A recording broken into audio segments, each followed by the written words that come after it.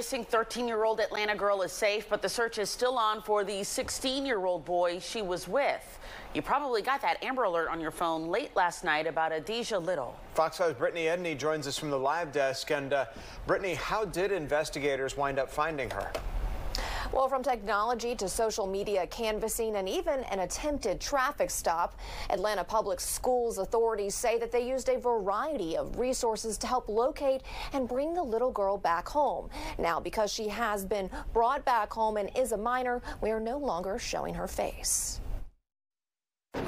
Adijah Little disappeared Wednesday afternoon from David Howard Middle School.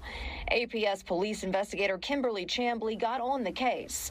She says the search started with social media canvassing and calling the girl's phone. We actually had them to pick up at one point on FaceTime, which was actually how we was able to um, get a subject, a suspect. She explained 16-year-old Emmanuel Williams wouldn't let her talk. At that point, we continued to utilize technology to try to determine where she was, um, which took us several places throughout the city. At one point, we got had another visual on the vehicle, um, tried to initiate a stop, refused to stop. Investigators say that's when they issued the Amber Alert.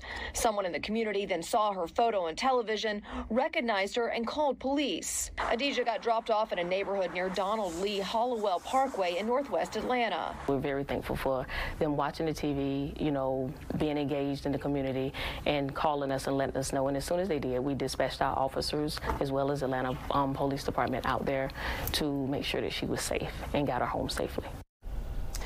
Atlanta Public Schools police say they do not want the community to approach Williams should they spot him. They say they do have concerns that he could be dangerous.